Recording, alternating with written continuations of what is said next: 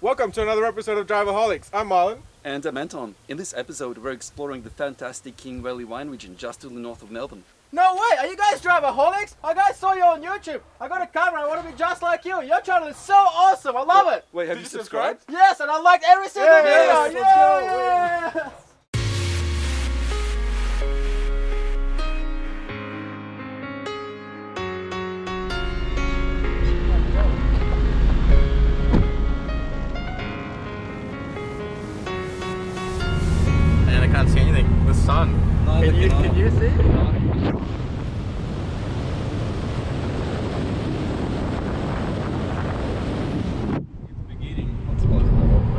it's, this thing is getting pretty cold, so we're gonna close it up. No, now it's started down to business. Just remember, the heat, is on. Business! Alright, here we go, here we go.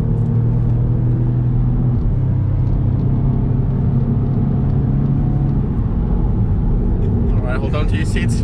Welcome to Australia. oh man. That could have been funny. Oh, funny. alright, I nearly had a heart attack. Broke a sweat, the, the windows are fogging up. Let's open it up a bit. Oh, Alright. forgot to brake. Now when we awake, we are ready for twisty bits. Let's go. Alright, here we come. The sun, I can't see the road. Yeah, see, look at this drop off. That's Ah, perfect. thanks, don't tell me about the drop off if I can't see it. that thing is at least, I don't know, 20 meters. But it did. Oh, I'll be braking.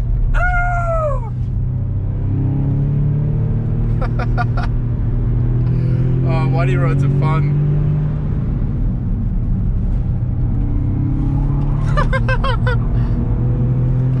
oh, we are.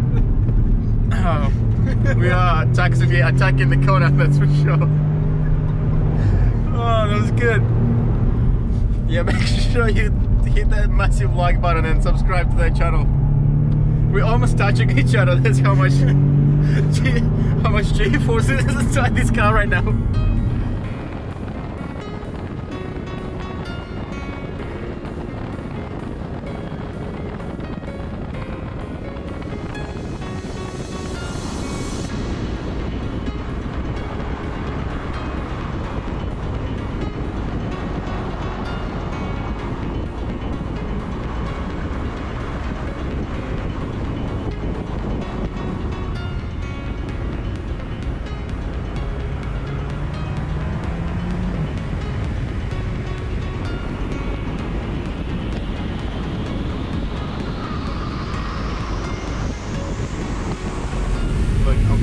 Kind of glad we're in an Audi right now with the all-wheel drive because I feel kind of safer.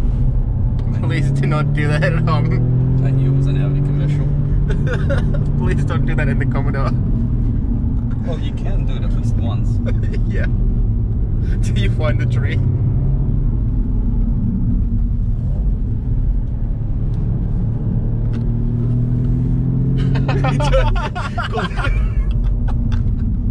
Yeah, good, uh, good choice places.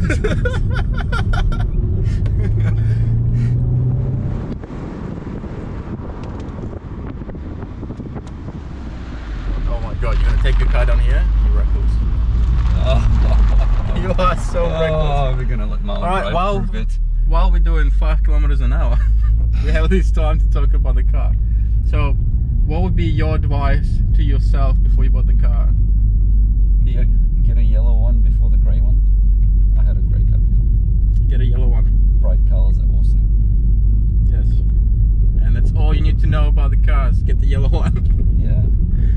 Uh,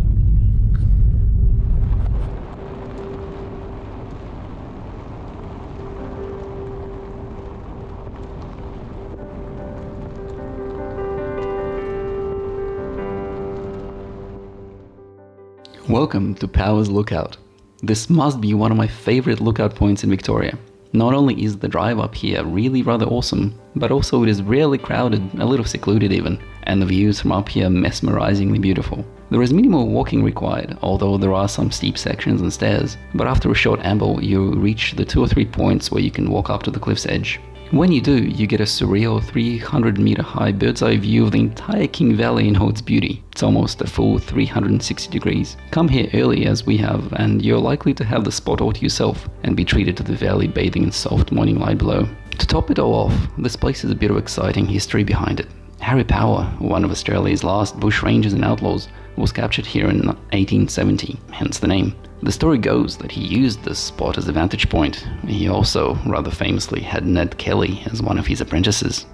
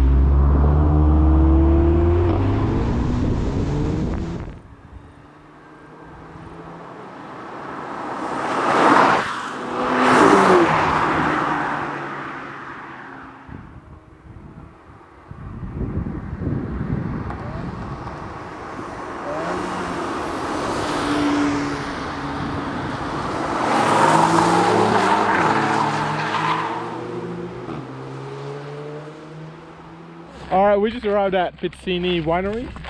Yes, we did. Um, so Look we've at the been. view. Look at this place. All right.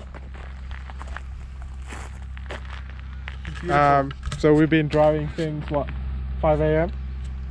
It's 11 o'clock. So six hours of driving and taking footage. It's very exciting. The roads are amazing. There's going to be some clips in before us driving through, and uh, I hope you enjoy it. Pizzini is a family owned winery that began in 1978, with the first Pizzini labeled wines coming in 1994. The winery specializes in Italian grape varieties, Sangiovese, Pinot Grigio, Nebbiolo, and others. There are also spaces here for events, there is food, there's a guest house, and even an Italian cooking school. On the subject of wine, King Valley itself is a fascinating place with a lot of history. It stands out in Victoria as a cool climate wine region specializing in Italian grapes with a unique taste to its produce. It has some of the highest vineyards in Australia too, up to 800 meters above sea level.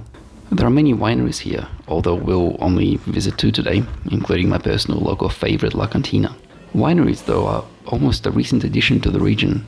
Since the 1880s, the valley has been used for agriculture, including hops and tobacco, but when post World War II European migrants settled the area and tobacco fell in popularity around the 1970s, the focus shifted to chestnuts, berries, and now vineyards. The region, though, is also famous for great hospitality. There's lots of food, accommodation, beautiful views aplenty, a fantastic place for a getaway.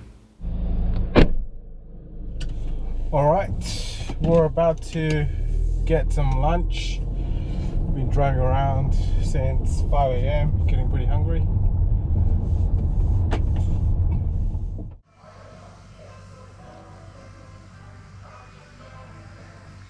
Because I take the filming seriously. right, Moen? We've arrived at the second winery for the day, La Cantina. About to have a look around and try some Italian wine varieties.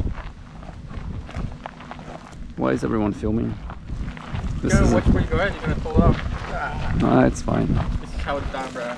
Welcome to the winery number two.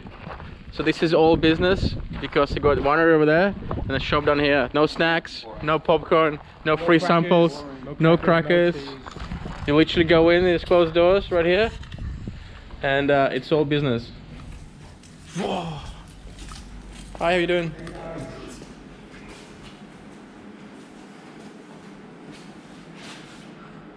Oh, look at that.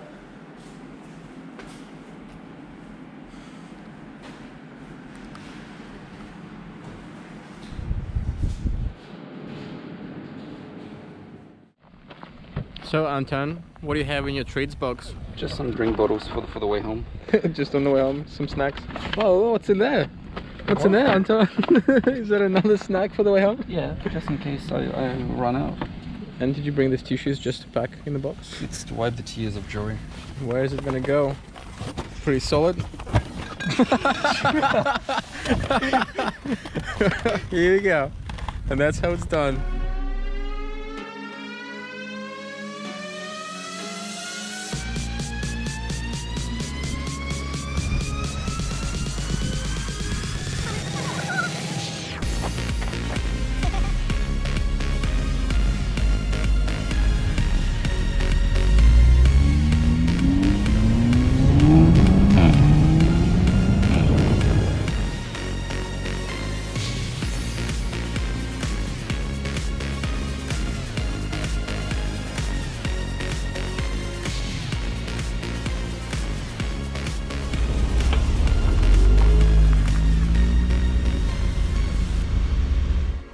Alright guys, we just got to the lake, we got all our gear, we got a tripod, that means we're gonna go and do our final scene uh, to say how awesome this video was and how much fun we had. This is the lake and uh, yeah, we're just gonna head over to our spot to do the final scene.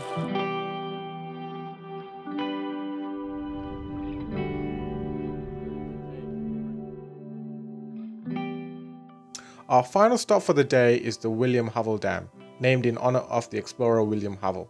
The dam was opened in 1971 for irrigation purposes and later adapted for hydroelectricity. The dam is located about 18 kilometers from Cheshunt and about 70 kilometers from Wangaratta located on the edge of the Alpine National Park. The reservoir is fed by the King River and is a great fishing spot for trout, redfin and some perch. The park area surrounding the reservoir has great barbecue spots although camping is not allowed. There are trails for hiking and four-wheel drivings around the area. Canoeing and boating is of course allowed in the reservoir and has some unique regulations. Boats are limited to 8 kilometers and 10 horsepower which means a pleasant and a quiet day for fishing if you're into that.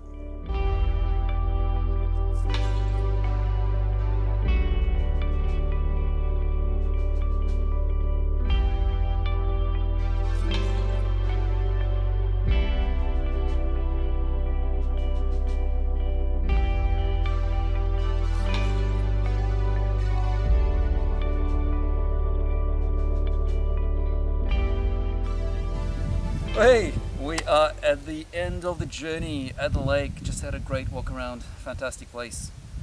Uh, one thing that we haven't done today is introduce our guest. This is Alex, and he's from the Daily Boosted YouTube channel. Make sure that you subscribe and follow him.